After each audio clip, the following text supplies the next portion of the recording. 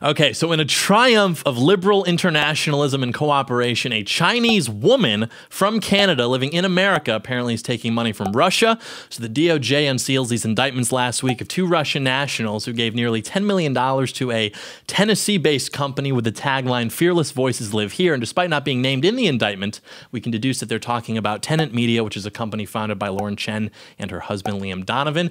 And this is a pretty big deal because that's a decent amount of money in this industry and the people they brought on these are pretty big names, people like Tim Pool, Lauren Southern, Dave Rubin, Benny Johnson. And so if these allegations are true, then the people who they brought on and their employees have all been deceived. And frankly, the left has been handed a pretty decent victory right before the election, which we'll talk about. And so from the indictment, we know, and also the statements that these people have put out since, the contributors were all unaware of these company ties to Russia Today, to the Russian government, and that they were supposed to be apparently promoting Russian interests in America along with some other things. So Tim Pool puts out a statement saying that he had no idea, he was deceived. All the work that uh, was done for Tenet by his company was done independently with no editorial oversight. These are all just allegations. And Benny Johnson, Dave Rubin, Lauren Southern, Matt Christiansen, uh, Taylor, the fella, Hanson, they all put out statements basically saying the same thing. But neither Chen nor her husband, who were both aware, as shown in the indictment, of the Soviet connection, have made comments at this time. So there's a lot of questions floating around. Lauren's articles are being scrubbed from Great Britain News. Apparently, she was let go from The Blaze, which was hosting her podcast. And people are really just dragging her through the mud over these allegations, which maybe is deserved. I suppose, you know, time will tell. But I just want to say up front, I've met her a few times. She's always been very nice to me. And so I hope that these allegations are proven false, but, you know, we'll see what happens. Lauren, I'm sorry to use your face for content. You know how the game is played. You use your face for content. I use your face for content. Let's all just set our stones down here before something gets broken. And unfortunately, she's not even here to defend herself. It seems that YouTube actually went ahead and just deleted her channel along with with a few other channels which she owns, um, just doing like movie reviews or something. And even though she herself has not been indicted, again, these are all just allegations, still just you know, deleted. There's no due process, no anything. Taylor, the fella, Hanson, same thing. His channel's gone, even though the indictment literally exonerates him and the other commentators and says, if anything, they were the victims because they were deceived if these allegations are true. But with the indictment, with the government going after this whole thing, as much as I want to think it's like a familial double standard kind of thing, like you can hit your little brother, but if someone else hits your little brother, well, then they get to taste pennies for the next six weeks. Like, hey, stop. Only we get to psyop Americans. Only we get to propagandize and spread misinformation misinformation. But if you do it, then it's bad because your flag is different and it, it's not the same. It's like, okay, this is definitely just an opportunistic move for pretty much all involved parties, as we'll explain. But in general, obviously, the interests of Americans obviously have not been represented in decades. So it's a very easy scapegoat to take this one specific isolated instance of foreign money and present it like, well, this is the whole problem. This, I hate when this happens. This is the problem with politics. No, actually, I, I don't think the government has a problem with this at all. Generally, generally speaking. Again, like we said with Russia, it's a little bit different, even more so given the nature of this content. But yeah, the indictments unsealed by the DOJ don't actually name Lauren or her husband Liam, but we know pretty much matter of factly that they are who the file refers to as Founder 1 and Founder 2. And more of what we know from the 36 page indictment is that the alleged crimes were committed by two Russia Today employees who steered nearly $10 million through various shell companies to presumably Lauren Chen and her husband Liam Donovan. Uh, Lauren's been making content content since around 2016 under the name Roaming Millennial. She began working for Russia Today in 2021. Liam, her husband, also worked for a company, I think it was a German company owned by Russia Today.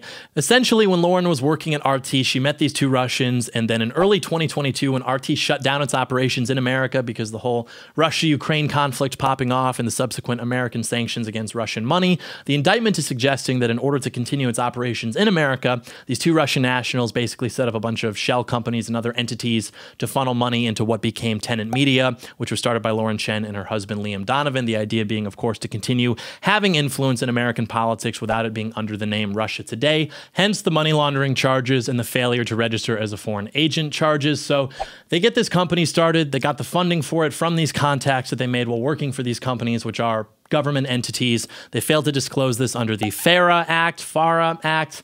Technically, they received laundered money, again, all allegedly, and then I guess they lied to the commentators working for them about the origins of the money. And the indictment reveals to us that when one of the commentators actually asked where this money was coming from, the Russian people swiftly put together this like fake resume and profile for some French businessman who I guess was philanthropic and who was also a complete fabrication. Like this guy didn't exist. So the whole operation was rotten from day one, and the Russians spent like $10 million to get 16 million views on YouTube uh, in a year, which is pretty much unsurprising if you know how government money works. Communism takes yet another L. State media BTFO'd yet again. And that's pretty much what we saw in 2016 as well. You know, like all, there's all this talk about Russian misinformation or disinformation. It was getting very low engagement, despite it being very expensive for the involved parties. Certainly not high enough engagement to swing an election, but of course they cannot legitimize the Trump ascendancy, which again, we'll talk more about later on. But following the indictment, Taylor the fella Hanson puts out a statement saying that Tenet is shutting down, its operations are ceasing, and FARA covers basically any interaction with a foreigner, but usually those laws are not strictly enforced. But again, given that Russia is sanctioned, that makes things a little bit different. More importantly, this whole situation presents a very ripe opportunity for the regime. My understanding is that there could be prison time, fines, asset forfeiture, things of that nature. And obviously, as a loyal American patriot, I'm not in love with people taking money from foreign interests, so, you know, don't do that. But putting this story into the context of that phenomenon occurring in American politics, which it obviously does, and further, just like our top 50 problems, I think that people might be getting a little uppity because they have their own interests in consideration when doing so, which we will explain. But my problem with Lauren Chen has a lot more to do with that, you know, if these allegations are true, then she's damaged the livelihoods and reputations of some very good people and has handed a very powerful victory to the left before this election, which we will discuss. But also, perhaps separately from that whole thing, she was counter signaling President Trump before the election, which as an American whose family has been here for over 300 years, yeah, I feel as though I have a pretty big stake in the results of this election. It sort of rubs me the wrong way when people claim to be on our side, but then they go out of their way to countersignal President Trump leading up to this election, let alone in ways which are just ridiculous in themselves, frankly, um, and maybe even a bit more offensive considering that you're not even an American in the first place. I mean no disrespect when I say that, but that's the reality of our situation.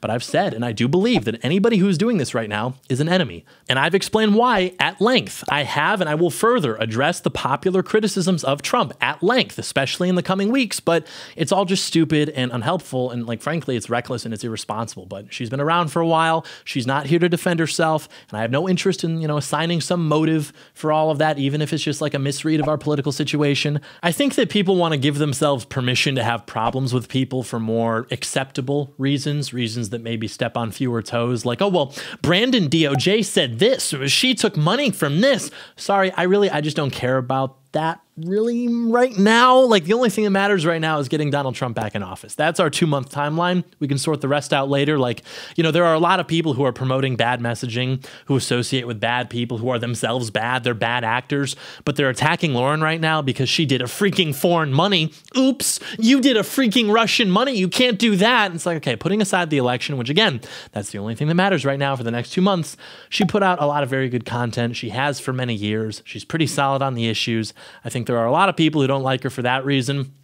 They don't like her for a lot of her opinions, and they're seeing an opportunity right now to basically like take out a radio tower and consolidate and reaffirm their own presence and just write her off with this being the excuse. And anyone who knows her will tell you that this is like totally out of left field. This seems nothing like her. And she may very well be being used by the government because they need this right now to harm Trump and to harm the right. And you know, Sean Fitzgerald, he just put out a video explaining how Lauren herself could actually be innocent. So go check that out if you're interested in the finer details, if you want the uh, the Erm actually perspective on the situation. You know, Sean, you shout me out, I hit you back a couple years later, we're square.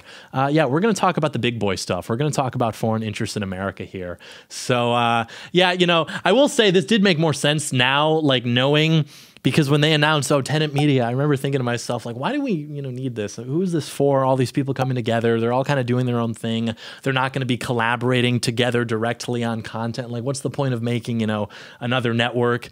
Now knowing that they just had like ten million dollars to work with, it's like okay, yeah, you know, it doesn't have to make sense. Just kind of throw something together. You got that much money to work with. So again, the talent they signed did not know about these allegations, according to the indictment, um, and their statements so far seem to corroborate that. So as of now, people are saying uh, that Lauren Warren and her husband should be charged with treason and they need to go to prison for the rest of their lives. You know, everyone always seems to develop this like real sense of patriotism and loyalty to America when the federal government decides to go after one of their political opponents. Democrats, of course, always do this.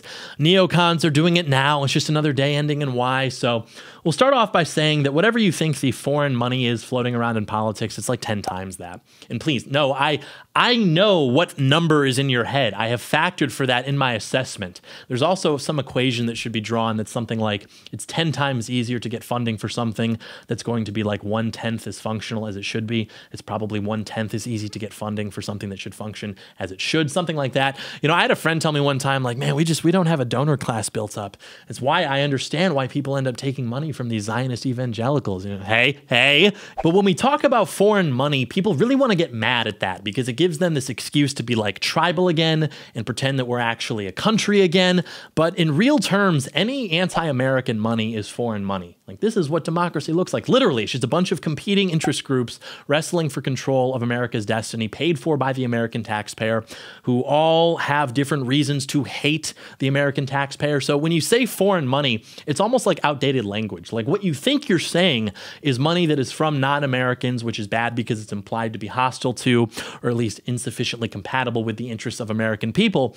But there are actually plenty of American, or maybe I should say citizens of the United States, rather, um, who do that as well just fine. So as globalization increases, what we actually mean when we say foreign money is not the same. And my understanding is that foreign money is bad because it goes against the interests of the native people, but so does like basically everything else that happens. So okay, where do we draw the line?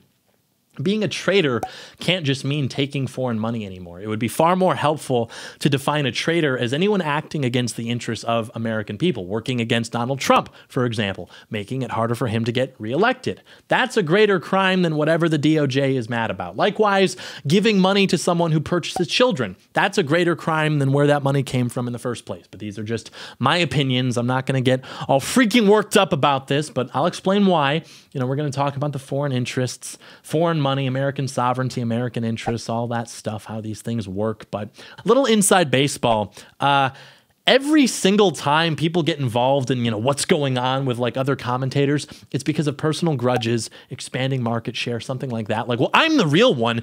You have to listen to me. And it's like yeah yeah listen to him. It's like okay. So you're going to be seeing a lot of that. Uh, not for me though because i'm actually okay whatever. Uh, next bit. So yeah the rush russia is the only country that you could get in trouble for taking money from literally. Like the only interest you could get in trouble for entertaining is the russian one. You could probably even get away with taking money from North Korea, though I would not recommend this. The only money that there is not is Patriot money. Where's the Patriot money? Where's the Patriot money to represent Patriot interests? It just doesn't exist. It's not a real thing. And there are so many interests there's just this stuff going on all the time. Everybody knows about it, how much corruption there is. So you have to ask yourself, why is this happening? Why is this happening right now? It's not like every case of this is treated equally. So what's the deal with this? And it's very simply that the DOJ is looking for an excuse to persecute normal conservatives, associate them with foreign actors, delegitimize any potential for their ideas to be organic. You know, these are manufactured insofar as they're expressing, you know, right wing ideas uh, by publishing headlines about right wing influencer operation busted by DOJ, Russia, blah, it's Mueller time all over again. Like, okay. So it's going to be used as a boogeyman against the right, against Trump, against Trump's campaign. And you'll see all the usual establishment conservative types jumping to align themselves immediately with the DOJ against these people, or really more specifically, anybody who's expressing sentiment that is similar to these people. Uh, it's just a bad situation, very unfortunate allegations. And the details themselves are so stupid, like sowing division, causing disruption. What does that even mean? I mean, basically that just means supporting dissident ideas. It's the same thing that we do or anybody does when they're funding or supplying proxies against their enemies. Like you supply the agitators with resources. If you have a rival at any scale, it is beneficial to you if you can support the efforts of something closer to them in their efforts to be disruptive. And again, I don't like what these guys were putting out, especially the anti Trump stuff. I have a huge problem with all of that. But the language is very specific because anything that is outside of this like established paradigm of political discourse could be causing disruption. You know, they've been saying this for like the last 10 years anyway.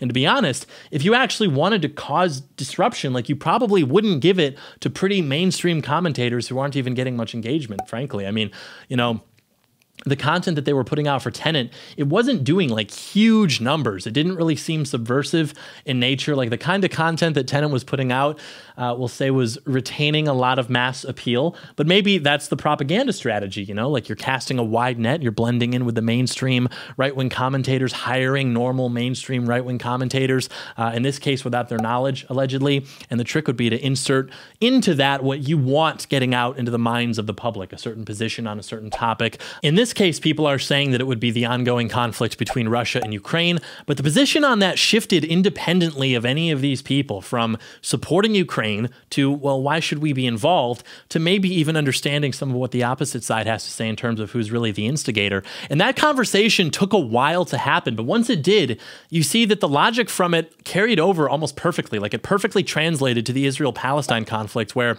when that pops off last October, the average position is already like, okay, well, who really cares? This isn't our problem.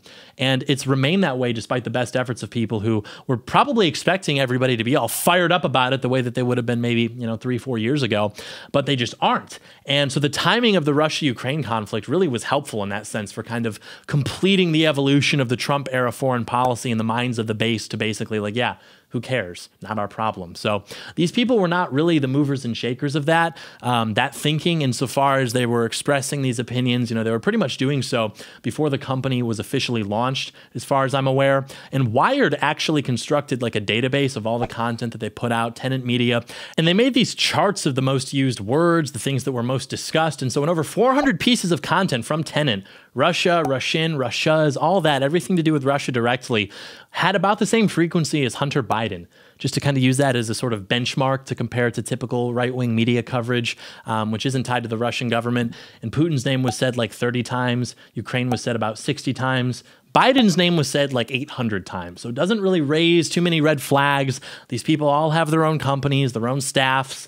They're claiming that there was no editorial direction given to them by Tenet or Lauren or Liam. And to be honest with you, I believe that. I know a lot of these people pretty well. And again, maybe that's all the strategy, right? Like you cast a wide net and then you sneak in what you really want getting out there. And then maybe once you've built up a little bit more of an audience and some more credibility, you like execute that. I don't know. If I'm the Russian state and I'm trying to disrupt, there's like no scenario scenario where I'm bringing Dave Rubin onto that team. He's not making the Power Rangers. This guy's whole thing is like, let's talk it out. Let's have a conversation. Unless that guy was going to do like 4D chess, big brain, subvert his audience, like, just kidding. You fool. We're not actually talking it out. We're not actually having civil conversation. Do burn this book. Do burn these books. Quote Dave Rubin. Dave, he like radicalized me, to be honest. I mean, I remember that one time when he said the time for civil conversation is over. Just do it. Just make America great again. I was like, whoa. Dave, talk about a report from Rubin. Um, I, so I don't believe the Biden DOJ, getting back on topic, is like capable of incidental justice. You know, it hates Russia, cool, it's been going on forever. But of course, there's more to it. It wants to put this out leading up to the election to harm Donald Trump. And you see the media is already running with it. Kamala's down. So yeah, they have to play every card that they have, even if they're at this point recycling, and it's going to be used to attack Trump. It's being used to attack TPUSA, which is doing a lot of the groundwork quite successfully for the Trump campaign um, as the Trump campaign has developed a um, more efficient, newer, albeit risky model of outsourcing a lot of that ground game to existing aligned institutions and organizations, which it is now able to do because of a recent FEC rule change back in March, I think. So, yeah, just like with everything else, don't believe that institutions which you know hate you always can sometimes just freaking like do something right. Like, no, every institution is just a different organ of the regime. These interests are not competing with each other, even if they are nominally separate and can theoretically check each other's power, hold each other accountable accountable, it's all the same thing. And the official position of the regime is to be anti Trump. That is an unacceptable position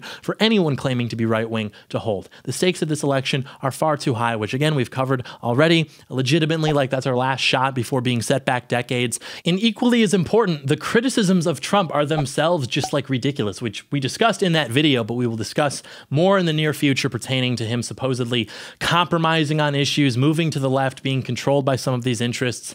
Uh, it's just not true. He's only improved since 2016, beyond the wildest expectations, the most optimistic expectations of anyone who can remember what things were like back then, and especially before then, which thankfully I can. So we will discuss these things uh, pretty soon. And also, there's plenty of anti Trump operations being run right now, all over the left, all over the right. So if they knew that Lauren and this organization were doing that, which they were, they were promoting anti Trump messaging, claiming that he's compromised, he's insufficiently right wing, etc. Okay, well, then perhaps the unique value is not by allowing that to continue if I'm the DOJ, but by indicting them and adding a new or perhaps just like refurbished anti Trump operation to the arsenal, which is trying to associate him with Russian disinformation, the right in general, with Russian disinformation, foreign interest, delegitimizing right wing ideas, etc. That's why almost all of the people who are trying to align themselves with the DOJ against Lauren are these like interesting kinds of people who are something in between like the remnants of the neocon class, but not explicitly like anti Trump people at the same time. They want to position themselves advantageously. They want to consolidate market share. They view this as a perfect opportunity to do so. So in this instance, yeah, they're willing to align themselves with the regime uh, and the regime's Department of Justice, as these people always do. So yeah, my problem with the content that was coming from this company and from Lauren in particular is that it was promoting anti Trump messaging. And not just anti Trump messaging, no one is beyond criticism, but specifically messaging, which I believe is inaccurate accurate, low hanging fruit, perhaps to drive engagement, perhaps not. In any case, it should not be thrown around so carelessly when there's an election right around the corner uh, with such high stakes. So, to be honest with you, like this all doesn't really change that. I don't really care what the motives are so much as I care about the actions themselves, though I do think that the motives uh, are probably genuine or at least not directly purchased, if I had to guess. Are the allegations troubling? Of course. Should you do business like that? No, especially not with friends, but it's not my business. I trust that they'll sort it all out, but I don't know, man. My concern right now is how this impacts the election, which really this only changes because it's going to be used as it's being used already to associate Trump with Russian disinformation, to delegitimize him, which of course the public is already primed to believe because of years and years of similar coverage against him. So the big lesson here is that you have to guard your heart. Don't get all riled up and write people off, write ideas off because of this kind of stuff. You know, like Tim Pool, Benny Johnson, Dave Rubin, these people will be fine. But guys like Taylor, the fella, Hanson, you know, his reputation which he's already been working to restore because these people have tried to smear him for years for various reasons. Now his reputation again is up in the air, and that should not be the case. So the story here, I think, is that like because there are all sorts of foreign investors, foreign interests in American media companies, not even foreign in the sense that we defined earlier, meaning like in contrast to the interests of Americans. Okay, like the problem is that these people were boosting anti-Trump content, and they allegedly were deceiving people into making these deals, which have now blown up in their faces, um, and it's going to leave a lot of scars on their reputations, which perhaps may never heal. Again, I hope these allegations aren't true. We haven't heard anything yet from Lauren or her husband, but if they are true, then that is extremely disappointing, uh, to put it lightly. So the tally right now is that even if not intentional, more credibility has been given to the Trump Russia disinformation narrative. You've stained the reputations of your colleagues. You've promoted anti-Trump content. You've invited more censorship crackdowns, whether you know directly from big tech or internally through inviting these people to keep pushing out voices from the conversation by painting certain talking points as now Russian disinformation or whatever. And the gain for that was like, what exactly? It's just, it's not a good situation. And again, I'm not saying that this was intentional or planned or that the allegations are true, but the result nonetheless is more or less this. And I don't really care so much about the intentions as I do like what is actually occurring, but still, they're not being accused of a crime.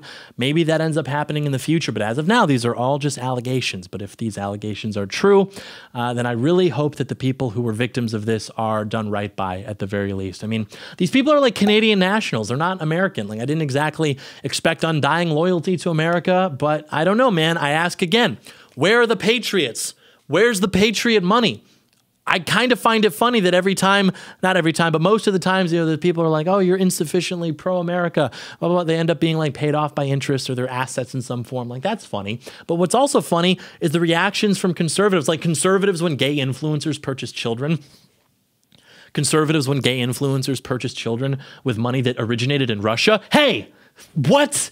Stop that. It's like you got to pick your battles. Pick your battles. That's the fundamental problem of life. Finite battles to pick, unlimited battles, you know? You got to you got to pick your battles.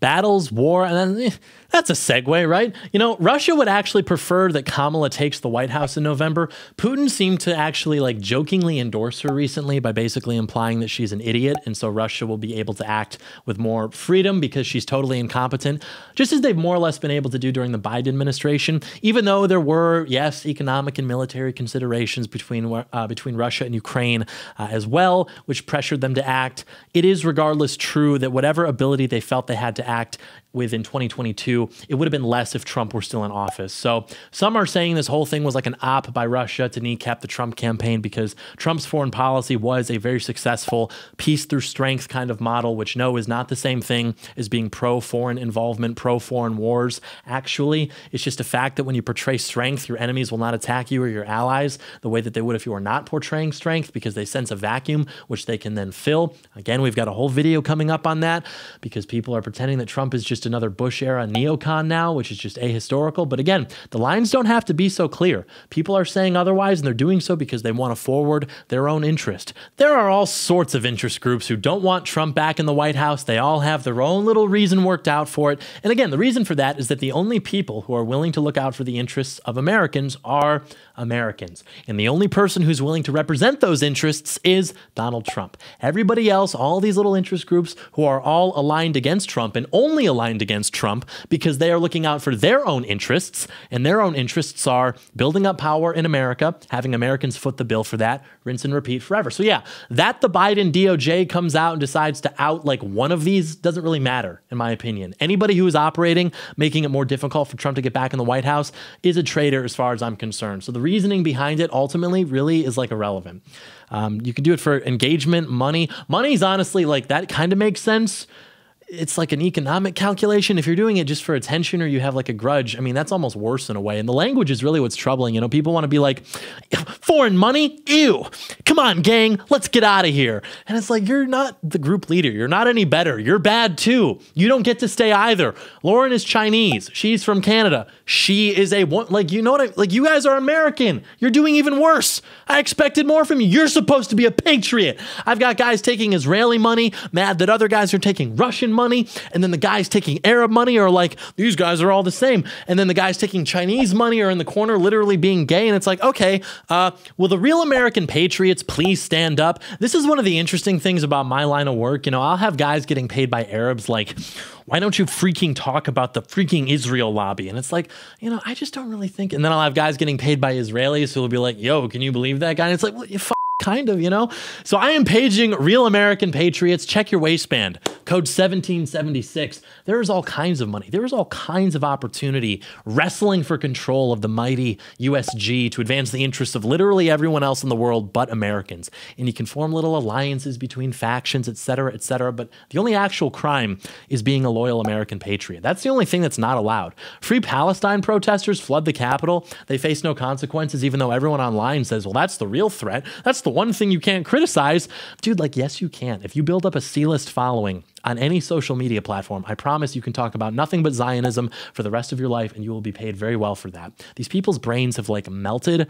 I'm sorry you haven't found the skeleton key. You know, everyone found out about Jewish money this year, which is like super based, Zionist money, etc. But the Zionist stuff is tricky because you have people putting up money who are Zionists because they believe Israel is like Christianity, the state, but that doesn't necessarily make it Zionist political organizing, the history of which is far more interesting than just supporting the state of Israel. It's usually more focused on scaring wealthy donors into supporting these groups by convincing them that like the Nazi threat is real and only they can stop it, which is exactly what groups like the ADL began doing after World War II, and it's what they've been doing successfully ever since in cooperation with various NGOs NGOs, intelligence agencies, the FBI, the DOJ. Now, I don't know if you've ever met a Jewish person, but they kind of spook easily.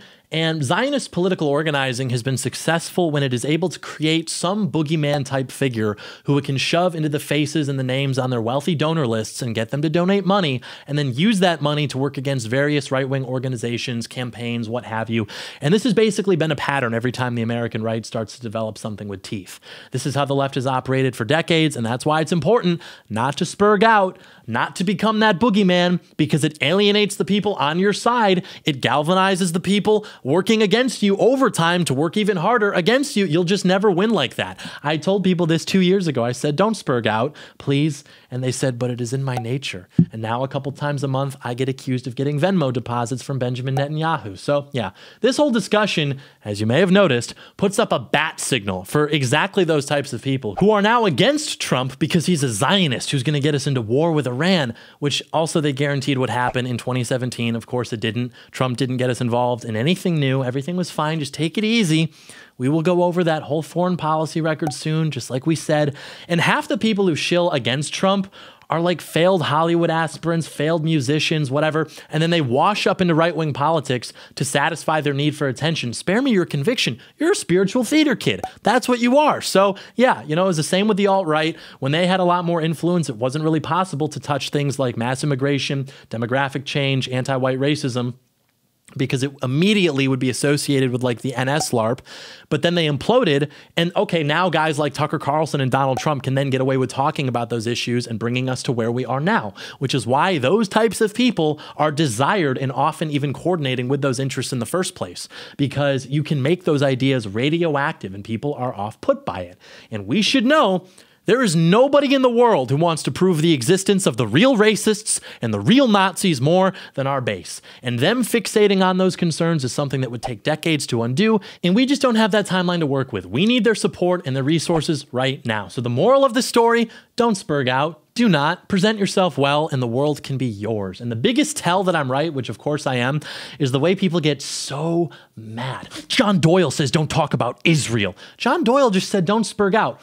I don't understand the difference. I know. I know that you don't. So that's part of it. The other part, and for some reason nobody talks about this, but there's a ton of Arab money floating around. And I guess nobody talks about it because it's not freaking based or whatever. And maybe they're taking it themselves. And it's like, all right, well, if you want to save souls, it's probably not good to be promoting this. You probably should not, you know, be trying to entice people into worshiping false gods because they're trying to take young men who naturally have conservative instincts and funnel them into Islam. And there's a lot of this in the red pill sphere nowadays. Like, look, our women aren't like this. We're based. Okay. Uh, Anyway, more importantly, though, they're trying to build relationships and command influence within the right because they don't want a right to ascend which is hostile to their interests, just as any group wouldn't. And their interests are, of course, moving to Western countries, breeding like rabbits more than half the time with family members, by the way. Our women aren't degenerate. It's like, okay, well, our women aren't our sisters, you know? It's like, we're going to keep score.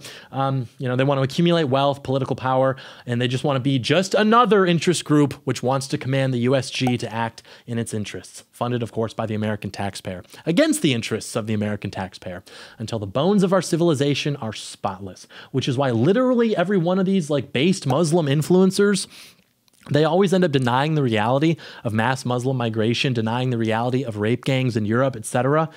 It's like, okay, Chinese money, you don't really see that on the right too much, even though people like skits out about it. Uh, this is much more of a Democrat thing. You know, I won't say too much, but I was actually offered what you might call Chinese money a few years ago, but from like the liberal Chinese people. I was like, what? Have you, uh, have you seen my content and all? I said, no, of course. The only money I've ever accepted is from Patriots. And by the way, the way it works with all this is not as romantic as people may think. My understanding is that in most cases, you're basically offered an opportunity to like produce content for money whether that be through a network directly or a relationship where your media company is licensing content to a network or some entity is putting up money for some stake in the content that your company is producing, whatever it may be. And you don't receive like some list of things that you have to talk about, things you can't talk about. But it's sort of understood that whomever's putting up the money more or less has permission to set some sort of editorial position, so to speak, um, of whatever the particular content is, which isn't done in brass tacks more like maintaining communication in a group chat, phone calls, just something to like launder more or less what is supposed to be getting out there. People might actually believe it, they might convince themselves that they believe it over time, but in any case, there is something a bit sticky about it all, isn't there? And of course, it gets complicated when you start incorporating and hiring and making it all official, moving money around to different places, through different places. That can expose your flanks if not done carefully. It sounds like whatever was going on in this story that we're talking about, for example, was done uh, a bit sloppily or maybe maybe not. Maybe you just shouldn't do these things at all. I don't know. I'm not really in this world. Um, i've noticed though that most of my detractors take money from these people. They, or they try and fail to take money from these people which is even funnier. And i'll say this you know people want to adopt a threatening identity something that is threatening to our ruling class. If that's you do not confuse what is simply annoying to your enemies, what makes their eyes roll, with what is legitimately threatening. Your model has to be something that works. If they don't like it and it's palatable to your base and you can get into power off it, now that's interesting. That's an interesting idea. But it has to check those boxes. You know, people want to just be like, and just be like 12 year olds on skateboards, which is fine. I mean, that's a lot of fun, but that's what you are. There's a low ceiling for that. There's a low ceiling for what you can do. It's self immolation. I've seen it a million times. The patriot truly walks alone. And just finishing on this Russian money, by the way, it's like pennies on the dollar frankly, it's just like not a real thing in the sphere in terms of the money that actually like floats around. Um, even when they ran the like Russiagate, Trump Russia 1.0, that whole narrative, everybody they ended up going after for taking Russian money, Russian organizations, whatever, to influence the election in 2016, it was like pro Bernie Sanders people. Only like one of them was actually pro Trump. So, like we said, there's a reason this came out now. There's a reason that this happened, and it's looking like Brandon's DOJ wanted another Russiagate meme they could pin on Trump right before the election. As Kamala's polls are dropping, everyone hates her. But I guess they didn't realize that Lauren herself had been amplifying anti Trump viewpoints and sentiment. Or more likely, they thought that it would just be more effective to use it to just try to like delegitimize Trump and the right by association, of course. And they knew that there would be establishment conservative types happy to go along with it to consolidate market share, settle personal grudges, whatever it may be, as is always the case. And it catches fire with all the usual suspects because to this day, they refuse to legitimize the Trump victory, both left and right. They refuse to concede that the Trump victory was actually the thing that like most accurately represented the will of the people in decades.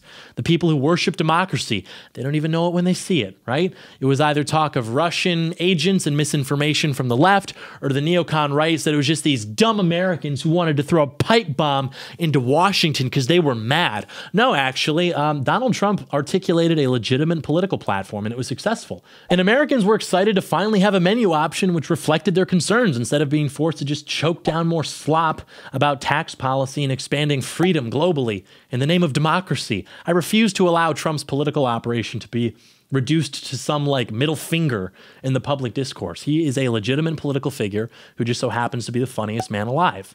These are compatible. And even now, the people on the right who did this, they know that they can't openly get away with criticizing Trump the way that they used to. But even now, they cannot help themselves but to just take these little snipes at him almost every week. They can't give him credit. It's just a fluke. Maybe they occasionally make like the best of it. They're a bit nicer, but at their core, they maintain it was just a fluke. Americans are just dumb. It's like we talked about in the last video. These people squirmed when Trump came onto the scene and made them reveal how much hatred they have for average Americans. And nobody else could do that except for Donald Trump, could make them delegitimize themselves so quickly and so publicly. But they have to delegitimize Trump as well. So things like this are very useful. They didn't even have to indict them, and they're never going to arrest the two Russians. So the whole thing, which really kind of leaves more questions than answers. Some people online are paranoid and bringing up that typically when feds have messages and search histories, it suggests that people cooperated with them to avoid trouble, and maybe they turn over contacts and act as eyes and ears on the right, among other things. I would just say that for the next two months, we kind of just need to keep our eyes on the prize. My axiom for patriots versus disloyal R's, loyal Americans versus traitors, real Americans versus citizens is literally whether or not you support Donald Trump for president. That may expire, but for the next two months, it is that. Where you stand on that issue is what determines whether you're loyal or if you're a sellout far more than whatever is going on here. Even if people want to get all riled up and get up on their soapbox, because the truth is that there are a lot of different ways that you can sell out. People sell themselves out every day. You can sell out for money, you can sell out for clout, attention, dopamine hits, extravagance, leisure, comfort, anything that makes you compromise from your mission statement is selling out. And I think that people focus a lot on like selling out for money because it kind of gives them permission to just cast stones before reflecting on their own situation. Your worst sin is that you've betrayed and destroyed yourself for nothing. Really makes you think, right? Like I'll get this from time to time, you know, because I run ads for a few companies in my in my videos. Okay, yeah. You've never once seen me though try to sell you like a snake oil supplement or like a gold investment, stuff like that, which I'm not throwing shade, but I promote products that I like and that are produced by companies run by good people who I like and who agree with everything that we talk about. I had a company a few years ago who I thought fit into that. They asked me to cut something. It was stupid. Maybe I should have, but we never worked together again. I have left more money on the table than my biggest critics will see in their entire lives. But last week, I had a guy see me advertising the promo for the Gladiator that Undertac was doing, he sends me a DM. He's like, huh, Doyle the sellout. It's like, what? Your IQ is so low. You can only see two variables at a time. And so you're like, okay, wait a minute. Promo, and that's just like the generic YouTube promo. And these are the same thing. I'm very smart. And it's like, okay, I think it makes people feel good to sit back and just shoot arrows at everybody else. Like, at least I'm not a sellout. You have nothing to sell. You have no skin in the game. You're not doing anything. You know, I will say most of these people they get involved because they're theater kids, true. But a lot get involved because they're true believers. And then eventually the pressures of the regime just become like too much to bear for whatever reason, depending upon the individual circumstances of that person.